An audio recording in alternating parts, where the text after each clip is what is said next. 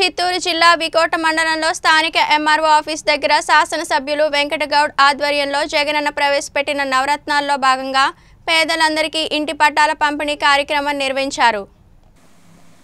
అనంతరం శాసనసభ్యులు మండల వైసీపీ నాయకులు మాట్లాడుతూ పలు ఆసక్తికరమైన వ్యాఖ్యలు చేశారు. ఈ కార్యక్రమానికి వందలాది మంది ఇంటి పట్టాల లబ్ధిదారులు తరలివచ్చారు. ఈ కార్యక్రమంలో జిల్లా జడ్పీ చైర్మన్ అభ్యర్థి శ్రీనివాసులు మండల convener Balagurunath Vkota panchayat sarpanch P N Lakshmamma మరియు మండలంలోని పంచాయతీ సర్పంచులు వార్డు మెంబర్లు వైసీపీ కార్యకర్తలు పాల్గొన్నారు.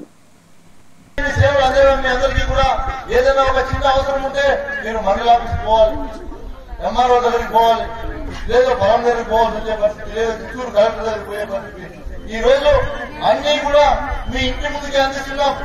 ప్రతి ఒక్కటి కూడా మీ ఇంటి ముందుకు వచ్చి మీ తలం పెడుతున్నారు మీకు అందరికీ కూడా తెలుసు అవ్వడానికి పొద్దున్నే ఒకటో తేదీ పొద్దున్నే ఐదు గంటల కల్లా తెచ్చి పింఛన్ మీ ఇంటి దగ్గర తీసుకున్నారు లేదమ్మా? ఎప్పుడు ఇలా ఎవరైనా జరిగింది ఇలాంటి సేవలు? ఇప్పుడు కొత్తగా మళ్ళీ రేషన్ టీం కూడా మీ ఇంటి దగ్గర తెచ్చించే కార్యక్రమాన్ని చేపట్టారు అన్ని కూడా ప్రతి ఒక్కటి కూడా మీకోసం ప్రజలు బాగుండాలని జగన్మోహన్ రెడ్డి గారు చాలా గొప్ప ఆలోచనతో అడుగులేస్తున్నారు ఏదైనా చిన్న చిన్న సమస్యలు ఉంటే కూడా ఖచ్చితంగా మీ సర్పంచ్కి మరియు వాలంటీర్కి మీ వార్డు మెంబర్కి చెప్పండి. వాటిని తక్షణమే పరిష్కరిస్తారు. నేను కూడా అధికారులందరికీ కూడా ఉన్నటువంటి శాఖ అన్ని అధికారులకి తెలియజేస్తున్నా. ముఖ్యంగా మన సర్పంచ్ అందరికీ కూడా తెలియజేస్తున్నా. రానున్న ఎంపీటీసీ ఎన్నికలు ఉన్నాయి. ఈ ఎంపీటీసీలో మీరందరూ కూడా ఆశీర్వదించాలి. ఆశీర్వదించిన తర్వాత ఖచ్చితంగా ఎన్నికలు అయిపోయిన తర్వాత నేను గతంలో ఏ విధంగా గడప గడపకు వచ్చానో నేను ఖచ్చితంగా ఈ ఎన్నిక తర్వాత ప్రతి గడపకు వస్తా.